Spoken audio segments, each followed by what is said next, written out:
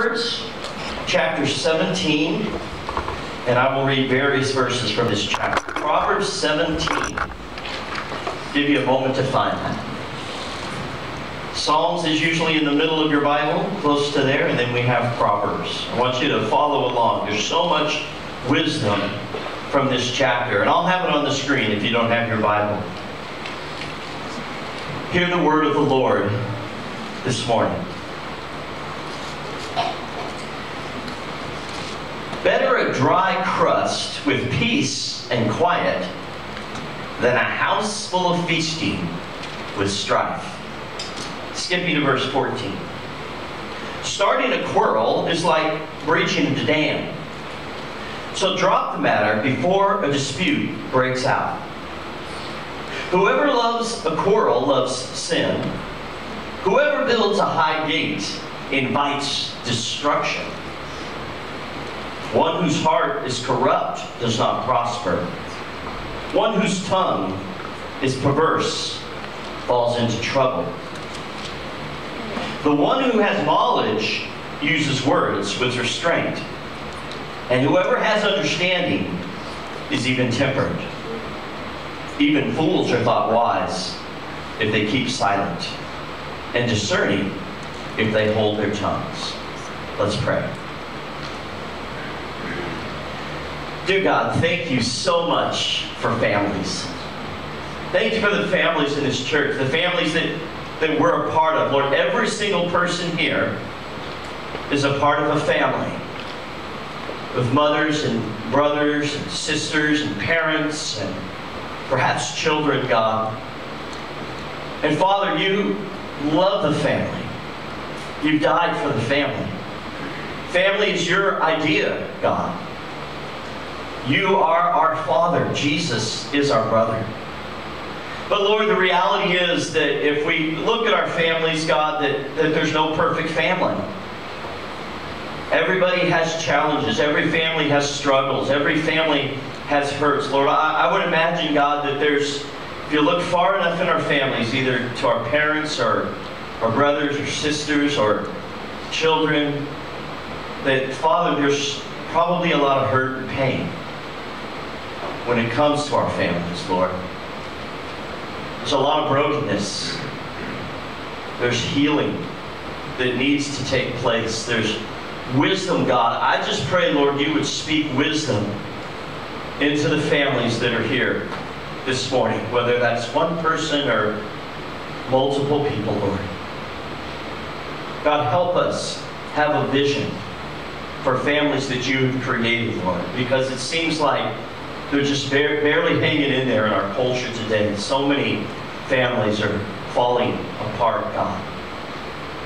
And Lord, as we see in Proverbs today, much of the destruction and devastation comes from words. Words that are spoken, Lord, that reflect hearts. God made each person see this morning that our words can either bless our families or our words can curse our families for generations, God. Your word, Father, tells us that our words are very powerful, Father. So be with us now. Grant us great wisdom and discernment and a heart this morning to change, to transform the ways that we speak to one another so that we can transform our families for your glory, God. Do that through the power of your Spirit. We pray in Jesus' name. Amen.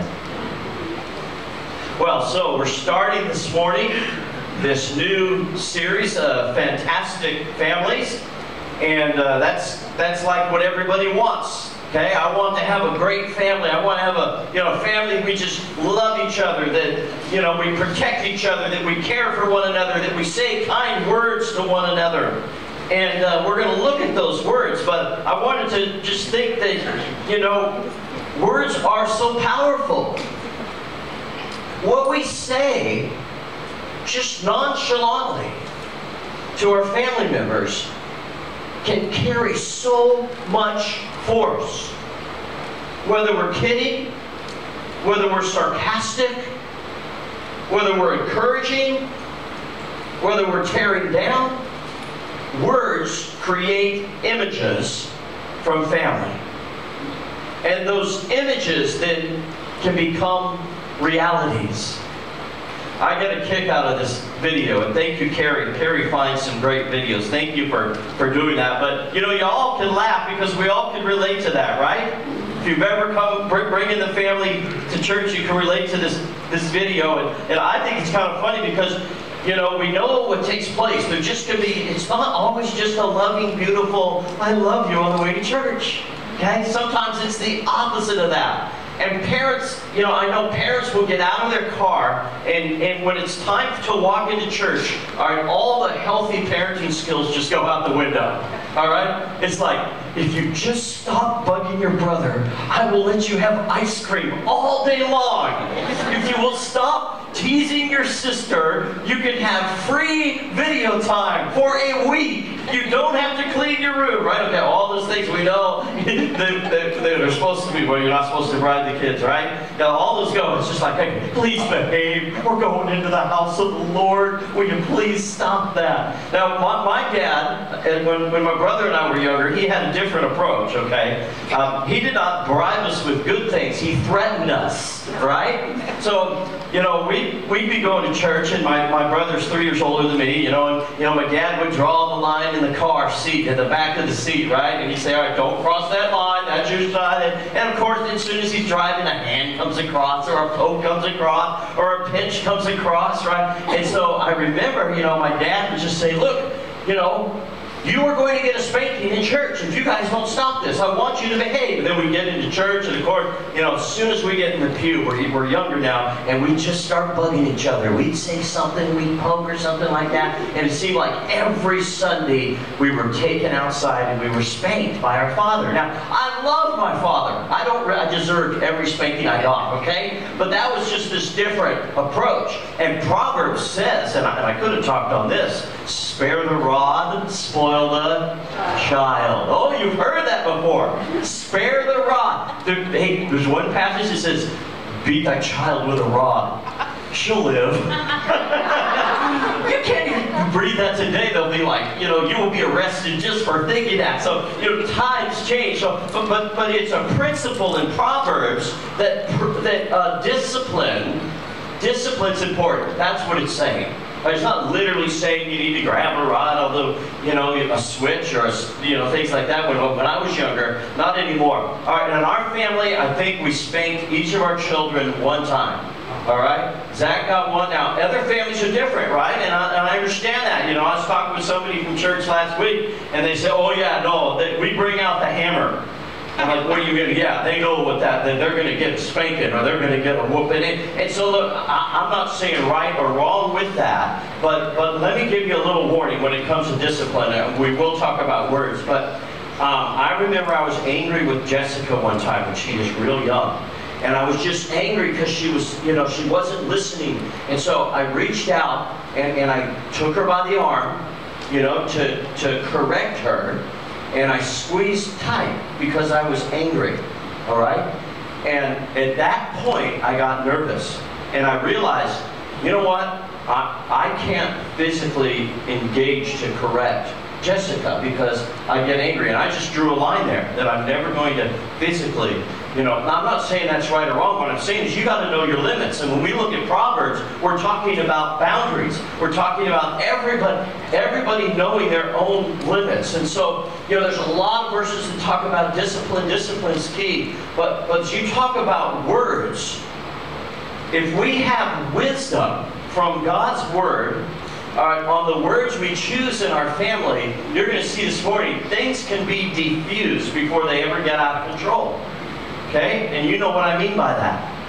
And so we have to pray for discernment. We have to pray for wisdom. We have to be into God's Word because He's going to tell us, you know, how to handle situations. We'll look at some of those, just a few of those passages this morning. But I encourage you, keep just read all Proverbs 17 and look at the passages that are around uh, this one chapter that, that, that we look at. So families are not always as they appear. And when I say the power of words, we're obviously not just talking about the words themselves, but the action, the heart behind those words. Because you can say the right words in your family, and it can be seen very quickly that the heart's in the wrong place. Have you ever had that take place? Right? You say the right thing. It's the right thing to say, but things just go south because it's clear your heart was not into it. And Jesus said the heart is very important behind the words that we choose, the words that we use uh, with our families.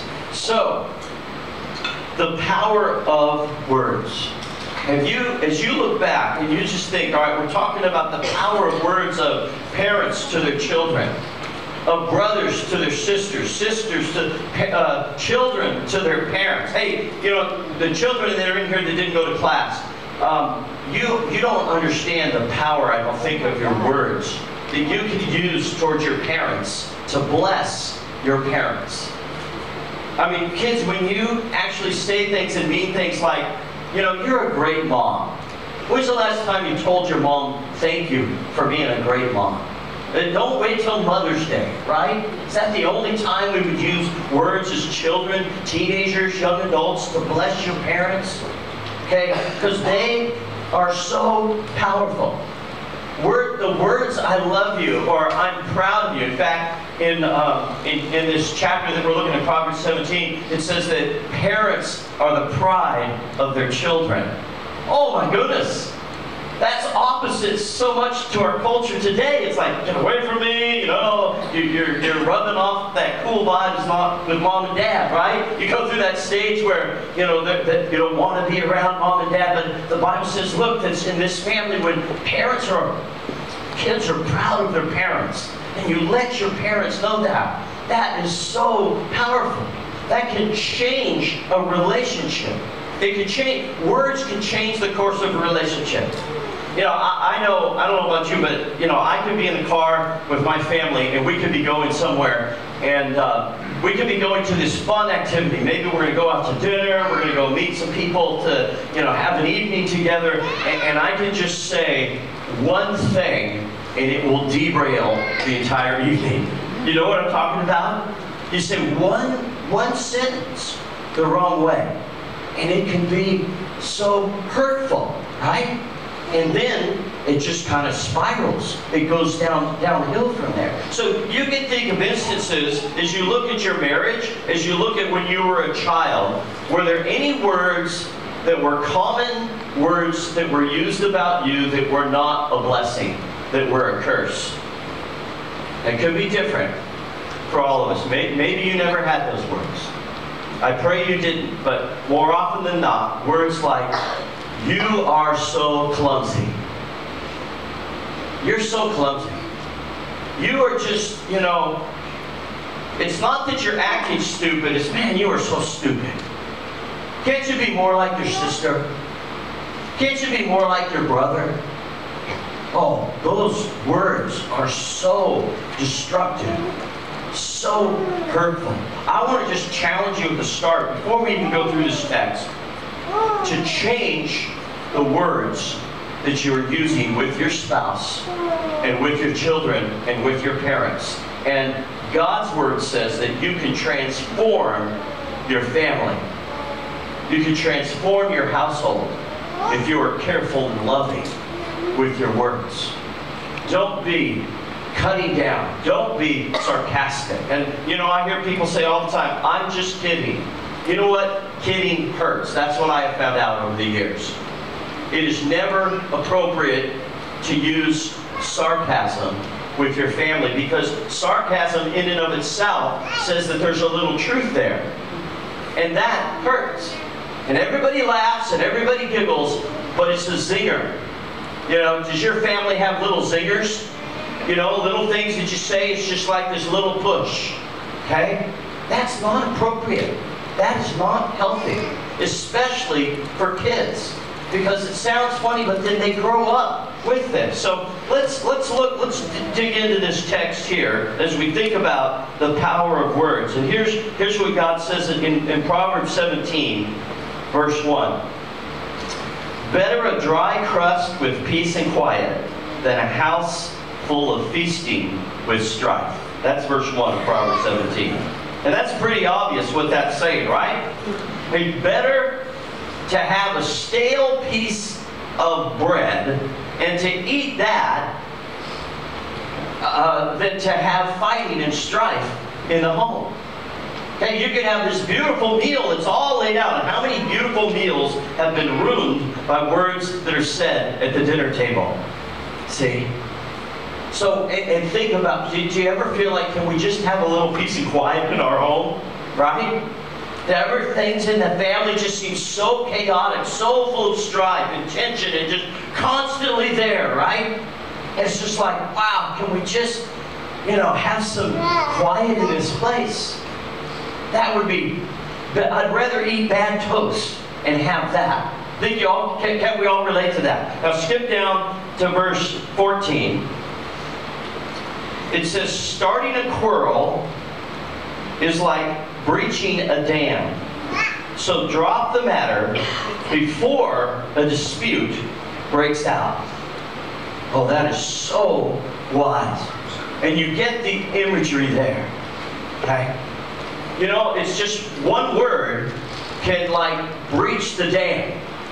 And then water just starts to flow out because what happens is one negative word, one critical word, all right, leads to another, which leads to another, which leads to a sentence, which leads to a paragraph, and you just can see pretty pretty soon your house, your home, your family just overflowing. Your marriage with kind of this negative conversation and you're fighting, you know, back and forth. So it says, it says here, um, you know, don't start that quarrel. So drop the matter before a dispute breaks out. That is just such wise advice because things can rapidly, rapidly escalate. Things can be so hurtful. Now, we're coming up on the holidays very quickly. I know that's a gasp, right? Okay, next Sunday's October 1st. And then, so, and you think about families and you think about the holidays, all right? And the hurtful things that, and you know, the holidays can be very tough for families, can't they? Even when you get together, it can be tough. But I know that there's families here that don't even want to see their family on the holiday.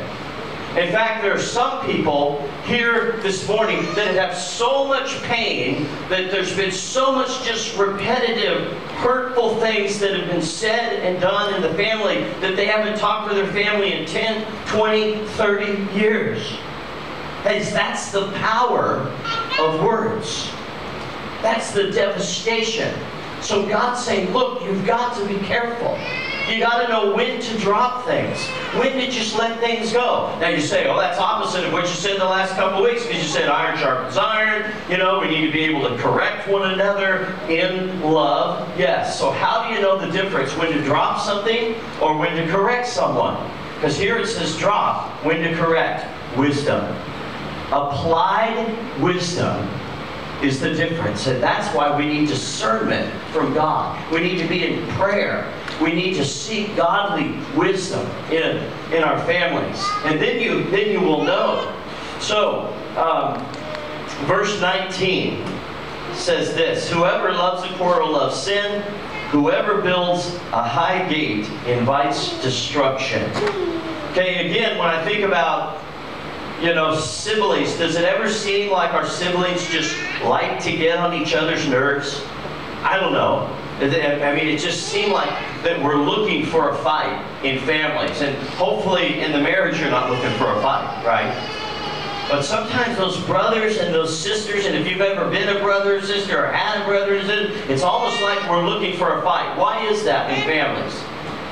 Why would a brother or sister want to fight and bother each other? Why would that happen in a home? Because it happens a lot. And you know what? It goes all the way back to Cain and Abel. It is jealousy in the family. It's jealousy that causes that. And so God saying, look, let, us not quarrel. Let's, how can we build one another up? How can we truly care for one another? Let's not love to quarrel. And I know parents are thinking, oh, can we just, you know, if you knew my kids, it just seems like, oh my goodness. It's always like they're fighting. Okay, so we need to speak love and wisdom and help them to grow up. And that family is that environment where they learn to grow up and to love and care for one another. That's why the family is so important. And if you're not part of a family, that's why the family of God is so important. Because it's in this context, God's family, that we care for one another's children as well and we model what it is to be loving. That's why a family on their own that's not plugged into the church, it's really difficult. Now, not all families in church discipline the same way. This is something I have found out. So I think you need to tread lightly here. But if it comes from a place of love, it comes from a place of care, then, then this family can just be a great um, environment, kind of like this, this uh, miniature world where we truly care and love for one another, and then we are more prepared to go out into the world because we've got that training and care and love from one another.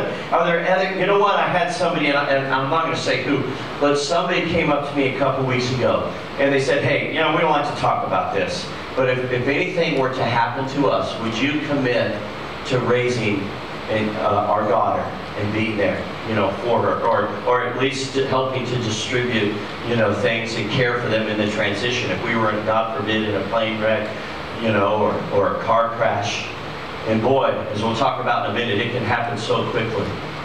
But I said, man, I would love to because what better place than the church?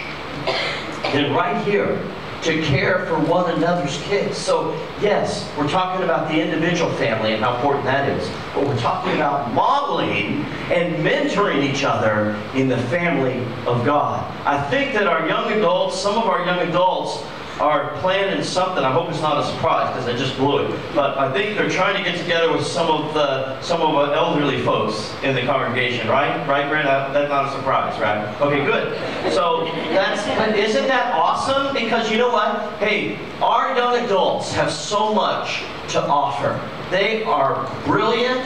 They are hardworking. They are in love with Jesus Christ, and they are going to bless our elderly couples. If you want to get in on this, talk to Brendan.